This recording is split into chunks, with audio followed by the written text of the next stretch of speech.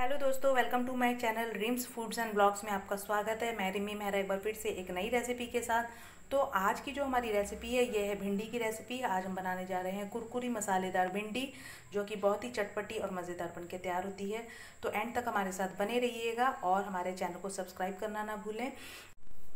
So friends यहाँ पे आप देख सकते हैं, मैंने 300 ग्राम के करीब मैंने लिए थे भिंडी, और जो कि ये काफ़ी सॉफ्ट भिंडी है, और हमने इसे अच्छे तरीके से धो करके वॉश कर लिया था, पोछ लिया था, और देखिए इसकी मैंने दोनों साइड्स भी कट कर लिए थे, और अब हम इसकी कटिंग करेंगे, और हमें हमारी आज की रेसिपी बनाने के लिए चाहिए थोड़ा से सामान, जिसमें से मैंने लिया था बेसन। बेसन हम, हमारी ज़रूरत के हिसाब से इसमें ऐड करेंगे नींबू। नींबू अगर ना हो तो आप आमचूर पाउडर भी ले सकते हैं, हल्दी पाउडर, नमक, गरम मसाला जो कि धनिया और ज़ीरा का मसाला है जो घर में पीस के तैयार किया गया है और ये है लाल मिर्च। बस इन्हीं सब के साथ हम बनाएँगे आज की हमारी रेसिपी तो सबसे पहले हमें क्या करना है, हमें हमारी भिंडी जो है, इसे कट कर लेना है। तो हम इसे भिंडी को देखिए, कुछ इस तरीके से कट कर लेंगे।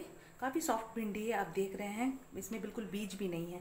आप चाहें तो इसे इसी तरीके से रहने दे सकते हैं, या तो इसमें से एक और आप कट लगा सकते हैं, कुछ इस तरीके से, क्योंकि हमें भिंडी फ्राई करनी है तो हमें इसे जितना बारीक होगी उतनी अच्छी फ्राई होगी। और अगर बीज पके हो तो आप निकाल दे, पर ये काफ़ी सॉफ्ट बीज है तो हम इसी तरीके से जो हमारी भिंडी है, वो सारी कट कर लेंगे। और साइज़ भी इनका कुछ ज़्यादा बड़ा नहीं है, लेकिन अगर फिर भी आपको ज़्यादा लगे तो आप उनको बीच में से यहाँ से कट कर सकते हैं। पर ये बिल्कुल सही साइज़ है तो हम इसी तरीके से हमारी जो सारी की सारी भिंडी है, इसे काट लेते हैं। इसका सो so फ्रेंड्स जैसा कि आप देख रहे हैं, मैंने सारी भिंडियों की कटिंग कर ली है और कुछ इस तरीके से देखिए, हमारी भिंडियाँ जो ज़्यादा बड़ी थी, उनको हमने छोटे पीसेस में कट कर लिया है और जो नॉर्मल साइज़ में थी, उनको हमने वैसे का वैसे ही छोड़ दिया है। और जो बीज हैं, ये पके हुए नहीं थे तो मैंने बीज भी साथ में ही ले लिए हैं। अगर बीज पक जाएँ तो आप उन्हें निकाल सकते हैं। पर देखिए, ये बीज काफ़ी सॉफ्ट हैं और इनका भी काफ़ी अच्छा टेस्ट आता है। और फ्राई करते समय तो वैसे भी अलग हो जाते हैं तो हम सबसे पहले इनमें मसाले मिक्स कर लेते हैं। तो मसालों में हमने सबसे पहले देखिए, हम यहाँ पर लेंगे हल्दी पाउडर। जिससे कि इसमें कलर आ जाएगा, प्यारा सा कलर आता है। तो हमने यहाँ पे हल्दी पाउडर ले लिया।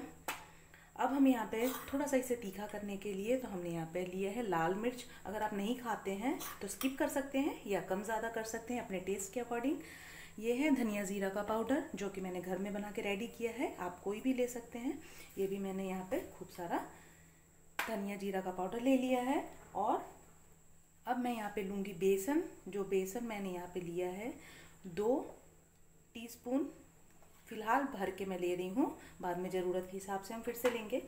और अब मैं यहाँ पे ऐड कर रही हूँ आमचूर पाउडर। वैसे तो मैंने नींबू भी लिया है और मुझे थोड़ा चटपटा पसंद है, खट्टा मीठा पसंद है तो मैंने आमचूर पाउडर भी लिया है। ये लगभग हाफ़ टी स्पून के करीब होगा। इससे भी काफ़ी अच्छा टेस्ट आता है। पर ये ऑप्शनल है, या तो आप नींबू या तो आमचूर का पाउडर ले सकते हैं, या आप दोनों ही ले सकते हैं। ये बिल्कुल आपके ऊपर डिपेंड करता है। और अब यहाँ पर हम नमक लेंगे स्वाद अनुसार आप अपने टेस्ट के अकॉर्डिंग नमक को ऐड कीजिएगा। और अब हम यहाँ पे साथ में ही ऐड कर देंगे नींबू, जो मैंने इसमें पूरा एक नींबू इसमें निचोड़ दूँगी।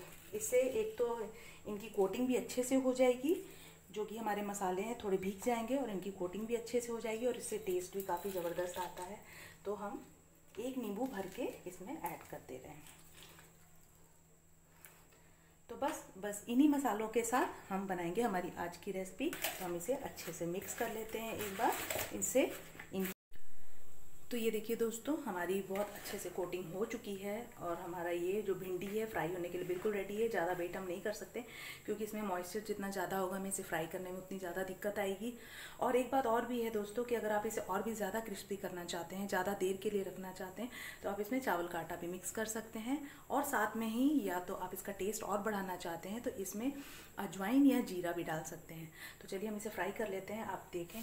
हमारा तेल बहुत अच्छे से देखिए गर्म हो चुका है और फ्लेम हमारा हाई है तो फ्राई करते समय में आप फ्लेम को हाई रखिएगा और हमें कुछ इस तरीके से बिखेरते हुए से फ्राई कर लेना है।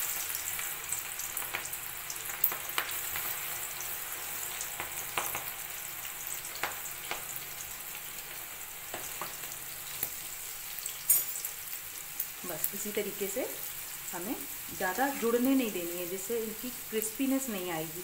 तो हमें फ्लेम को मैंने हाई रखा है, आप अपने हिसाब से फ्लेम मैनेज कर सकते हैं और हमें इसी तरीके से इसे क्रिस्पी होने तक फ्राई कर लेना है। तो देखिए दोस्तों, भिंडी हमारी बहुत अच्छे से फ्राई हो चुकी है। हमने फ्लेम को कम ज़्यादा करते हुए इसे अच्छे से फ्राई कर लिया है। आपको देखिए इसकी आवाज़ भी आ रही होगी है काफ़ी कुरकुरी बन के तैयार हुई है। तो हमने इसे फ्लेम का ध्यान रखते हुए इसी तरीके से फ्राई कर लेना है। तो इसी तरीके से हम हमारी बाकी भिंडियाँ भी फ्राई कर लेंगे।